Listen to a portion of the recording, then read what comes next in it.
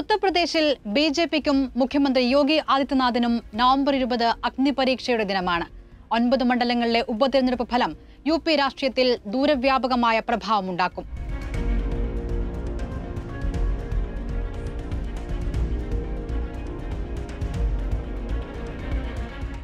നാനൂറ്റി മൂന്നംഗ നിയമസഭയിൽ ഒൻപത് എം എൽ എമാർ പ്രത്യേകിച്ച് ഒരു ചലനവും ഉണ്ടാക്കാനില്ല. അതും ഭരണകക്ഷിക്ക് വലിയ ഭൂരിപക്ഷം ഉണ്ടെന്നിരിക്കെ. എന്നാൽ അത്ര നിസാരമല്ല ഉപതെരഞ്ഞെടുപ്പ് ഫലം ബി ജെ പിക്ക്.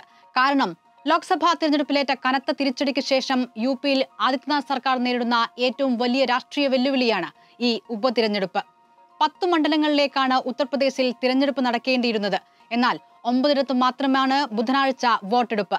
കേസ് നടക്കുന്നതിനാൽ മിൽക്കിപൂർ മണ്ഡലത്തിൽ ഉപതിരഞ്ഞെടുപ്പ് പ്രഖ്യാപിച്ചില്ല. തിരഞ്ഞെടുപ്പ് നടക്കുന്ന കർഹാൽ സീസമാവ കട്ടോഹരി കുന്ദർക്കി മണ്ഡലങ്ങൾ സമാജ്വാദി പാർട്ടിയുടെ സിറ്റിംഗ് സീറ്റുകളാണ്. ശേഷിക്കുന്ന ഫുൽപൂർ മഛവാൻ മീരാപൂർ ഖൈർ ഗാസിയാബാദ് മണ്ഡലങ്ങൾ എൻ ഡി എയുടേതും ബി ജെ പിയുടെ മൂന്നും നിഷാദ് പാർട്ടിയുടെയും ആർ എൽ ഡിയുടെയും ഓരോന്നും സീറ്റുകൾ. എന്നാൽ എട്ടിടത്തും B J P Samajwadi party നേർക്കുനേർ പോരാട്ടമാണ്. മീരാപൂർ ആർ എൽ ഡിക്ക് നൽകിയപ്പോൾ നിഷാദ് പാർട്ടിയുടെ സിറ്റിംഗ് മണ്ഡലമായ മജവാനിൽ ബി ജെ പിയാണ് മത്സരിക്കുന്നത്. ഏറ്റവും ശ്രദ്ധേയമായ പോരാട്ടം കർഹാലിലാണ്. അഖിലേഷ് യാദവ് കനൌജിൽ നിന്ന് എം പി ആയതോടെ ഒഴിഞ്ഞ മണ്ഡലത്തിൽ അഖിലേഷിന്റെ മരുമകൻ തേജ് പ്രതാപ് യാദവാണ് എസ് പി സ്ഥാനാർത്ഥി. എസ് പി എം പിയുടെ ബന്ധുവിനെ മത്സരിപ്പിച്ച് കുടുംബ വോട്ടിൽ വിള്ളലുണ്ടാക്കാനുള്ള ശ്രമത്തിലാണ് ബി ജെ പി.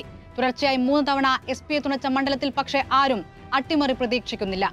എസ് പിക്ക് ആധിപത്യമുള്ള കുന്ദർക്കിയിലും സഖ്യകക്ഷിയായ നിഷാദ് പാർട്ടിയിൽ നിന്ന് ബി ജെ പി നേടിയെടുത്ത മജവാനിലുമടക്കം മത്സരം കടുത്തതാണ്. സഖ്യകക്ഷിയിൽ നിന്നടക്കം സീറ്റ് പിടിച്ചെടുത്ത് മത്സരത്തിനിറങ്ങാൻ ബി ജെ പി തീരുമാനിച്ചത് അഭിമാന പോരാട്ടമായി ഉപതിരഞ്ഞെടുപ്പിനെ കണ്ടതിനാലാണ്. മന്ത്രിമാരടങ്ങുന്ന പതിനഞ്ച് പേരുടെ സംഘമാണ് സ്ഥാനാർത്ഥികളെ കണ്ടെത്തിയത്. ഓരോ മണ്ഡലത്തിലും മന്ത്രിമാരടക്കം മുതിർന്ന നേതാക്കൾ പ്രചാരണ ചുമതല വഹിച്ചു. എല്ലായിടത്തും യോഗി പ്രചാരണത്തിന് ഓടിയെത്തി.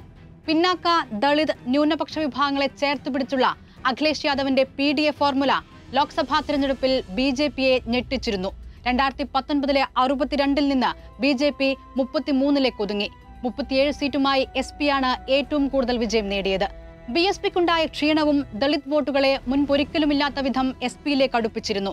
ഇതേ ഫോർമുല മുറുകെ പിടിച്ചാണ് ഇന്ത്യ സഖ്യം ഉപതെരഞ്ഞെടുപ്പിലും ഇറങ്ങുന്നത്. എന്നാൽ ഹരിയാന മാതൃകയിൽ വോട്ട് ചോർത്തി മണ്ഡലങ്ങൾ പിടിച്ചെടുക്കാനാണ് ബി ജെ പി ശ്രമം. അഞ്ചിടത്ത് N D A O B C വിഭാഗക്കാരെ മത്സരിപ്പിച്ചതടക്കം ഈ ശ്രമത്തിന്റെ ഭാഗം.